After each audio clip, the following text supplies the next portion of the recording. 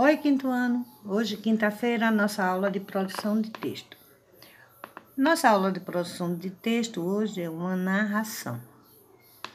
É uma história contada.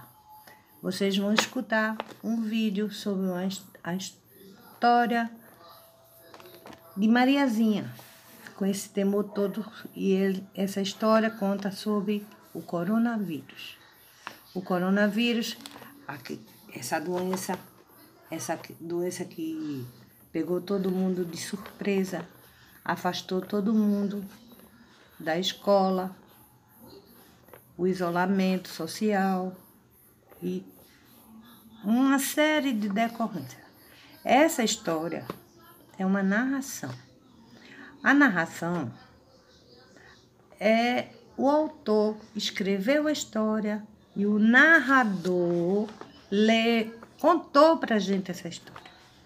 Na narração existe a presença dos personagens, a sequência de fatos, a localização dos fatos no tempo.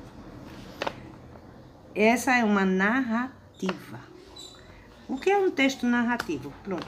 Um texto narrativo é onde existe a presença dos personagens, existe a sequência de fatos, é exatamente essa história contada.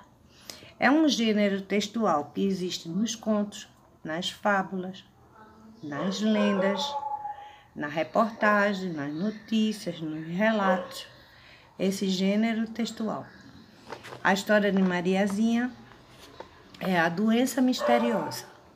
A doença misteriosa. Vocês vão escutar, assistir o vídeo e responder as perguntas que tia vai fazer. Certo?